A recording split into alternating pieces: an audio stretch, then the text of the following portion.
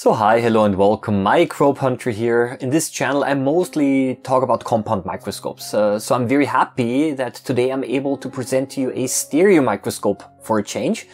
Stereo microscopes, they allow you to look at larger opaque objects. These are object specimens that are non-transparent. And unlike compound microscopes, uh, stereo microscopes uh, also produce a three-dimensional stereoscopic view because the two eyes, they receive a different image. On the monitor, you can also see now the image of a fly that I've placed on the stage um, of the stereo microscope. Now the model that I have here is called the Nexius Zoom Evo from the company Euromex. Um, in this video, I will unpack the microscope, uh, I will put it together, and then I will give you an overview of the different features that the microscope has to offer. And finally, uh, of course, I will show you a few objects uh, under the microscope as well. The microscope is available in different versions. Uh, there are several stands that you can choose from. And I have the version with the so-called the rack and pinion stand but the website has pictures and information of the different configurations that are available. As always, I arranged all of the parts on my table. Uh, besides the microscope head and the body, there are two eyepieces, obviously. There are also rubber eye cups. There's a dust cover, an instruction manual, a photo tube, and a power supply cable. There's also an exchangeable stage in two colors, uh, black and white. Uh, this is the round disc. And now to the assembly, which I think is, is quite self-explanatory anyway. I first inserted the trinocular head into the head holder and I fastened the screws. I attached the photo tube uh, to the microscope head and I dropped in also the eyepieces into place. And honestly, that's pretty much everything that you have to do. After plugging in the power supply, we can now have a look um, at different features that the microscope uh, has to offer. And one of the most important features is the ability of the microscope to zoom continuously between a total magnification of six and a half times and, and 55 times. The magnification of the objective goes from 0.65 to 5.5 and then of course you have to multiply this number with uh, the 10 times magnification of the eyepiece. And the Nexius Zoom Evo differs uh, from the Nexius Zoom in that it also has a so-called click stop mechanism for zooming. And this means that the different magnifications, they click into place. And uh, this allows for easier size comparison and for easier measurements because of a higher reproducibility. This microscope um, has a rack and pinion stand, as I already mentioned, and uh, turning the focusing knobs raises and lowers the microscope head. By turning the focusing knobs in opposite directions, however, you can change the tension to make it easier or more difficult to turn the focus knob. The microscope has two LED lamps, uh, one on the bottom and uh, one on the top. Uh, there is one main switch uh, that controls both of them. However, the light intensity can be regulated separately and independently. You can also remove the diffuse glass stage with the one uh, made of uh, plastic and uh, then you can use either the white or the black side depending on which background color gives you the best uh, contrast. The angle of the top lamp uh, can also be adjusted and fixed uh, in place. Needless to say, the distance of the two eyepieces can be adjusted as well. This is of course important for viewing comfort and for adjusting for different eye distances. Now let's have a closer look at the eyepieces. The field number is uh, 23, and this means that you're able to see um, very much of the specimen at a given magnification. So these are wide field eyepieces.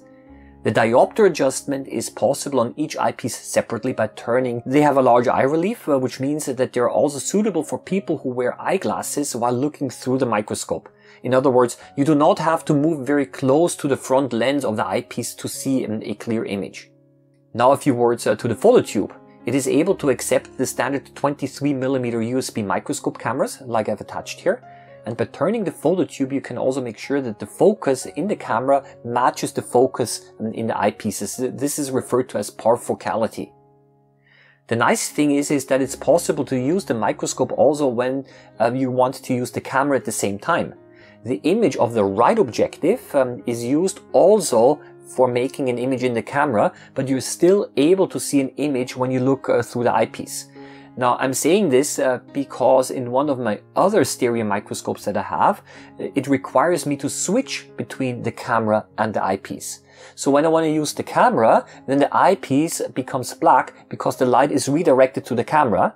And uh, in this case here, however, it's, it's quite different. um, because you don't have to worry about that. Now let's have a closer look on how you can upgrade the microscope. The website lists a range of different accessories. For example, it is uh, also possible to connect a C-mount camera adapter to the microscope. In this case, you have to remove the phototube and connect the C-mount adapter directly to the port. This adapter has to be obtained separately, of course. The whole setup uh, becomes much more compact this way and parfocality can now be adjusted by rotating a focusing ring on the adapter. Depending on the size of the camera sensor, you of course need to connect an adapter of the correct magnification. I also have uh, two Barlow lenses. Uh, you can connect them uh, beneath uh, the objective and their task is, is to change the magnification of the microscope. The 2 times Barlow increases the total magnification to a total of 110 times, while the 0.5 Barlow significantly reduces the magnification. Now you might wonder, why someone would need a lower magnification, but the real reason is actually a different one. When you connect the 0.5 times Barlow, then you can move the objective much further away from the specimen, so it increases the so-called working distance.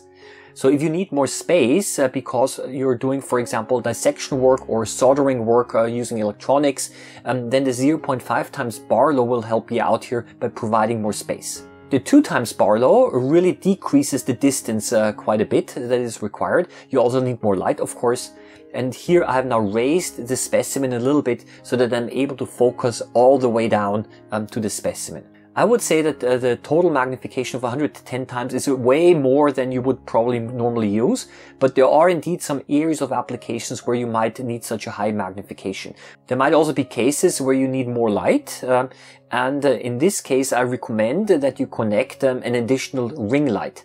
Uh, there is an adapter for this uh, ring light which you can connect to the objective just like you connect the Barlow lenses. Now let's uh, have a look at a few objects uh, under the microscope.